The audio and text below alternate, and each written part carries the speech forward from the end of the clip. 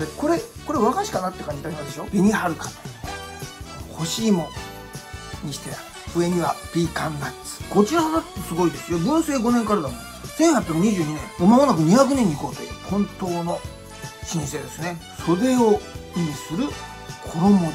衣では日立の国の枕言葉になってるんですよ。ご機嫌よろしゅうございます楽もできる和菓子 YouTuber 三遊亭龍楽です。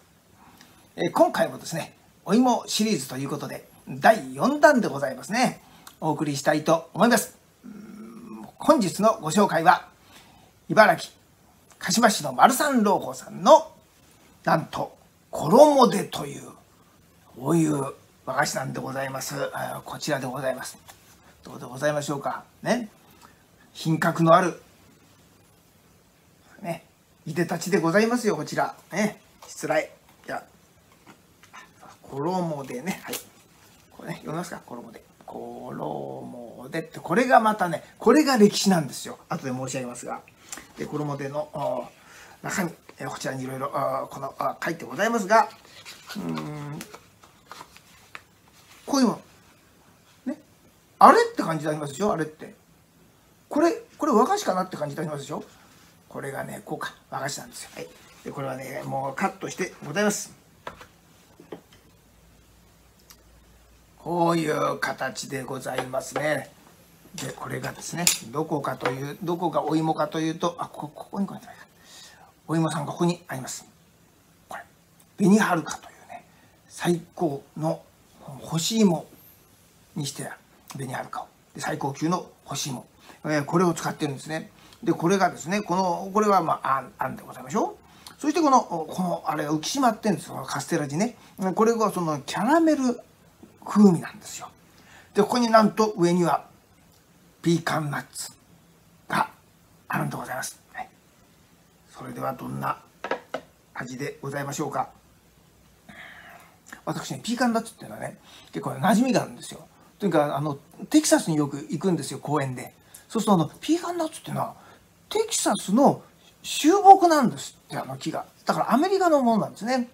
でこの、あの割とこのピーナッツとどう違うかっていうと割とこうですね、あのピーナッツよりは癖がなくていろんなものに、あの合わせやすい。そういったものなんだそうでございます。いろいろ健康効果も高いんでございますよ。こちらちょちょっとじゃあどどうする？これこれガブは嫌だな。それはちょっと失礼。これだけのこれだけのものにねすごくよいしょ。ここにやっちゃおう。こんな形で。うわだからこれね最高級の節も1本使ってすごくね贅沢に作ってあるんですよ。でこれをちょっとパッと全体を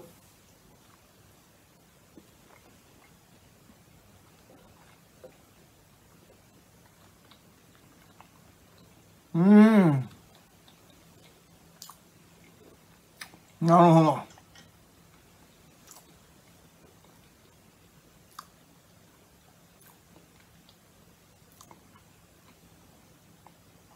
深いですねこれ。奥深い。うん。なんかゴージャスな感じ。この一口がすごくゴージャス。いい。よといいよあスッと切れるんだねね。こうこういうふうにしてもさっと切っちゃう。うん。うん。またこのね、カラメル風味が効いてます。うーん。本当に。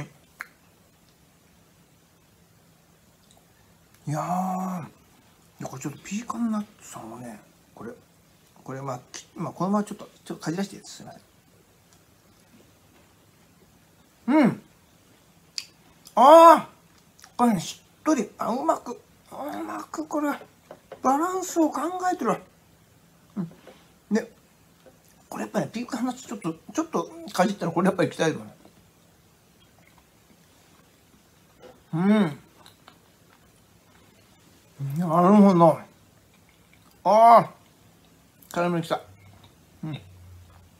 うん。うん。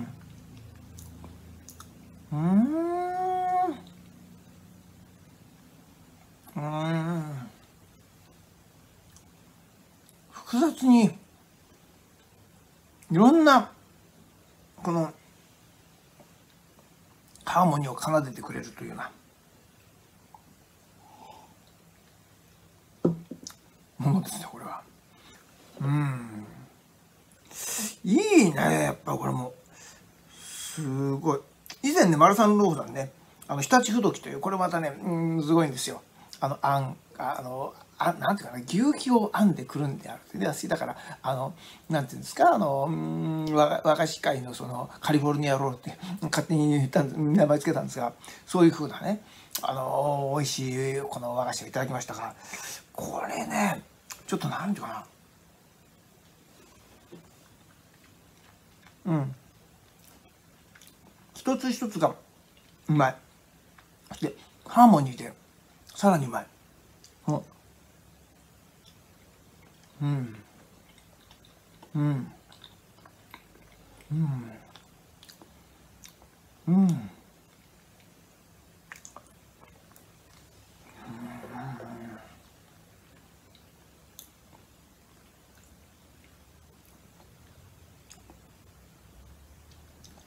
やっぱ深いですね味わいが何度も言うようですけどそしてこのピーカンナッツこれもすごくうん。厳選されてる。うん。うまいなこれ。うん、私もねこれちょっと帰ってきたんですよね。うん。やっぱそうね。茨城県産の最高級干し芋紅はるか丸干しっていうのがこれを丸ごとこうす使ってんだね。そしてああやっぱり京都のね洋菓子の名店のピーカンナッツをのせた。うんやっぱりね。あ随分贅沢に作ってあるんですねそしてこのまあいわゆるそのただのだから芋芋を使った使用感っていうそういう、うん、レベルじゃないですよ。でこのキャラメル風味がねあって。このね和洋がね折衷つっても全くねあの違和感なく味わえますね。いやこれ素晴らしい。そしてねこの場所があの鹿島でございましょでこちら様またすごいんですよ。鹿島神宮のお膝元でやってる、まあ、お店をねやってらしてだって鹿島神宮自体がもう元はもう紀元前と言われてるぐらい、まあ、日本でその神宮って言ったらもう、まあ、その3つしかないですかね。伊勢神宮と鹿島神宮と香取神宮。まああとあの明治神宮はねあれは新しいもんですけど。もう本当にその神宮神の宮って書くのはその神社と違う。それがですねそのですねだからもう2,000年を超える歴史のあるその鹿島神宮膝元でもってこちらだってすごいですよ。文政5年からだもん。1822年。もう間もなく200年に行こうという。そういうね歴史。を持っている本当の老舗ですね。そしてだからさすがですね。そういうこれを衣手となぜ名付けたかとこれもね意味が深いんですよ。大和武尊のとか、まあ、現在の茨城県にあたるとこでその井戸を掘っていい水が出たんですね。それでその時に着物の袖が濡れたと水に入れてでそれを水に浸すってそれを浸したってことから「浸ち」という言葉にという地名が生まれたというんですね。しかも今度はこのお召し物が濡れたからそうするとこの袖を意味する衣でねそれが濡れたから衣では日立の国の枕言葉になってるんですよ。はすごい世界ですね。ですからこういった歴史を尊重してそこでもってこの衣でとつけているという恐れ入りました。丸さん老子さん。こちらねあのフルーツ大福とかねすごく美味しくてメロンだとかねこのブルーベリーとかね、うん、そういうものもありますしね、うん、そのマスカルポーネとかねそういうチーズ使ったりとかでもう非常にそのつまりね伝統これだけ伝統深いところでありながら新しさを入れているという。ですからそのこう伝統というものは日々変化してそれでうんこの変わっていくことによってその古い良さというものを現代に伝えてくれてるというまさにねこの衣手がそれを体現しているような気がいたしました。というようなわけで本日はこれは2度目の登場でございます、えー、そしてお芋シリーズの第4弾でお送りいたしましたのが茨城県鹿島市鹿島神宮お膝元でもう老舗としてもう名高い丸三老舗さんの衣手をご紹介させていただきました。えー、お取り寄せについては概要欄にリンクを貼ってございますので、ぜひ、このご利用いただきたいと思います。というようなわけで、あ、チャンネル登録もぜひよろしくお願いします。それではそれでは、本日も誠にご退屈様でございました。